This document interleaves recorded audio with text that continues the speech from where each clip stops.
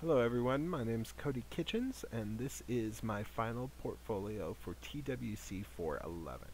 Uh, before we get started I just wanted to note that this whole presentation was done on PowerPoint, uh, you know, of course using the designs that I developed in Adobe Illustrator primarily, uh, a little bit in uh, Photoshop, but most of the designs were completely done in Illustrator. As well as the theory that I used throughout the semester, uh, of course, like most people here, I did use Gestalt's theory of design, but specifically I used his laws of simplicity and his laws of symmetry. Of course, with simplicity stating that we as humans perceive complex objects in the simplest form, and with his law of symmetry stating that we as human beings tend to perceive designs in a symmetrical way already. So without further ado, we can kind of take a look at exactly how that theory worked into my designs this semester. So you'll see uh, these are just the roughs from my personal logo. You'll see even in the base stage uh, is heavily using both simplicity and symmetry. Uh, that that went on into my comps as well, and of course the final that I ended up using as well. Uh, I kept this uh, really simplistic black and white um, typewriter logo because I felt it really communicated who I was as a person a little bit easier than some of the other designs I came up with. And in the color design that I chose, I really wanted to go with uh, kind of a very simplistic and symmetrical design that also had just a splash of color that really kind of emphasized the the stark nature of the logo itself.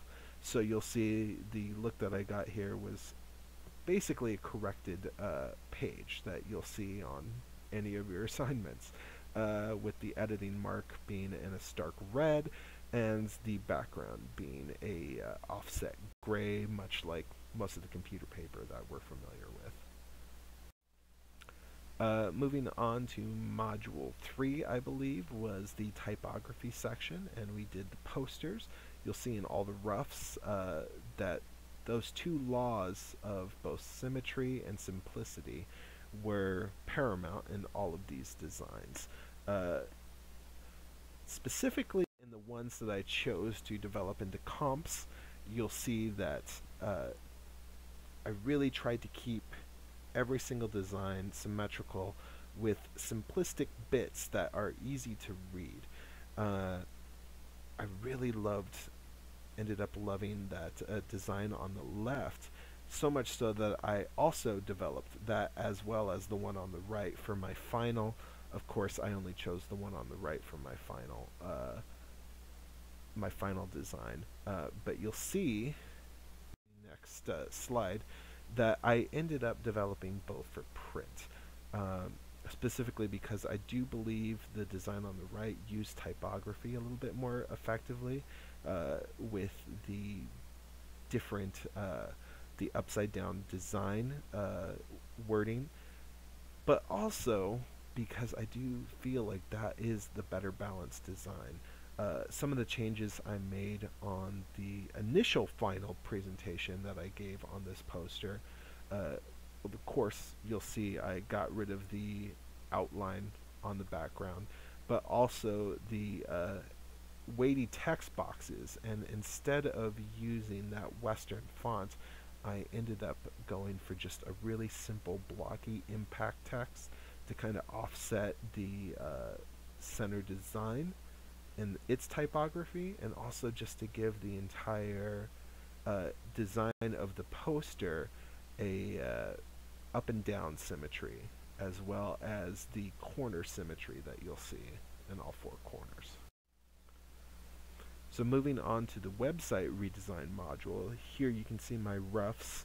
Uh, nothing crazy here, but you'll see in the comps, I developed them a little bit more. Uh, once again, keeping symmetry and simplicity paramount in all of these designs. You'll see in number three, it got a little bit more simplistic And then in number five, that was probably my simplest one, but I ended up loving it so much that it became my final design. Uh, once again, just a simplistic design, symmetrical as well, um, gives the reader a very even keel sense, almost like you can see each individual element in its own separate box. Moving on to the color brochures, I really played around a lot with symmetry on this one specifically. Uh, you can kind of see it a little bit in the roughs, but you'll see it uh, a little bit more developed in the comps.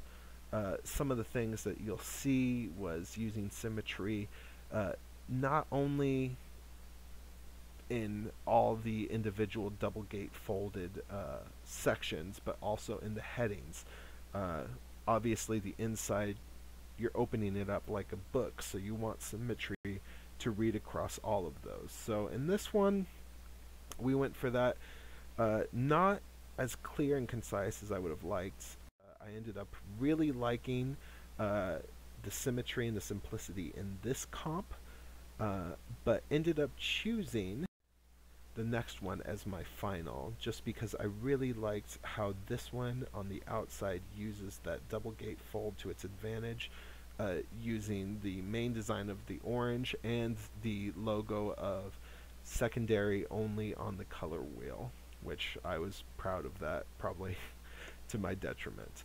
Uh, I did end up making some changes final design uh, some of the feedback that I got was that I should incorporate more actual orange into the design instead of just blues.